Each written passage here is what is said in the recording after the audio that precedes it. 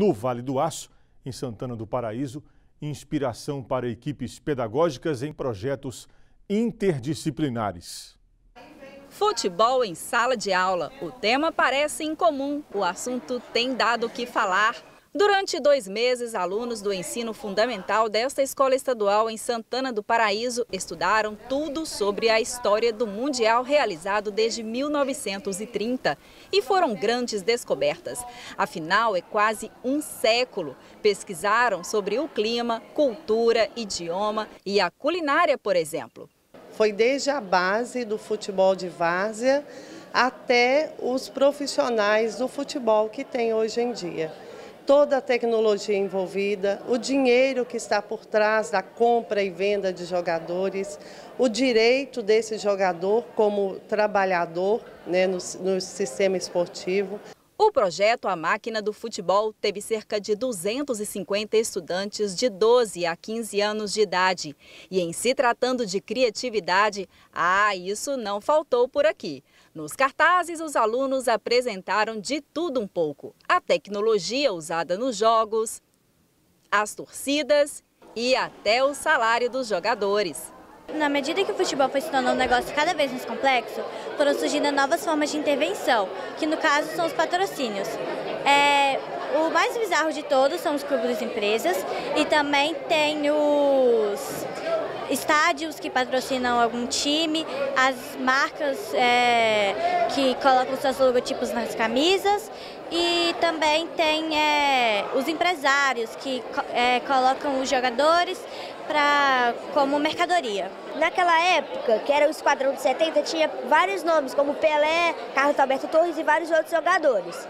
Aí o Brasil, na final, ele ganha da Itália por 4 a 2 o, o Brasil, naquela época, era revolucionário, ganhou o tricampeonato na época. Naquela época, o povo, o, os jogadores tra não trabalhavam por dinheiro, trabalhavam por, porque gostavam do futebol mesmo, entendeu?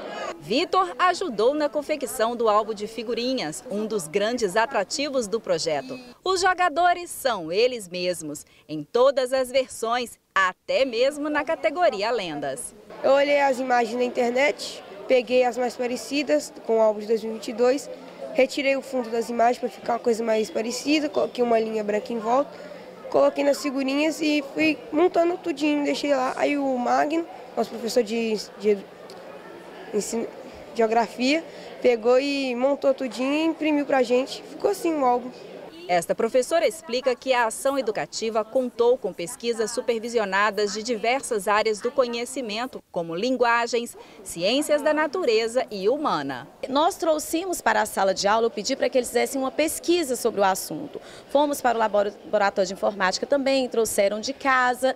Então nós trouxemos para a sala de aula toda a experiência, toda a bagagem e pesquisa é, que eles realizaram. Nós fizemos um estudo, é, leituras, né, de texto, produções e depois partimos para a parte da execução e a montagem do, da nossa exposição.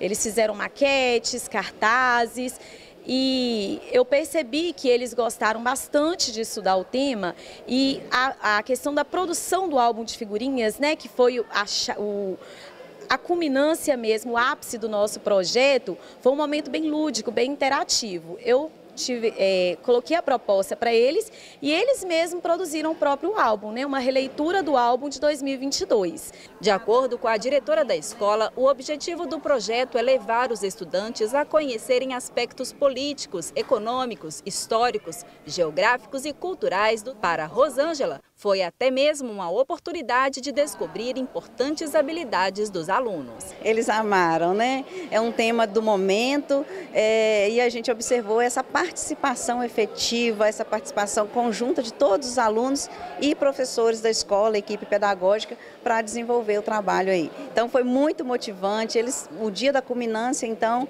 foi um sucesso. E depois de tanto trabalho por aqui, é hora de torcer pela seleção canarinho. Brasil!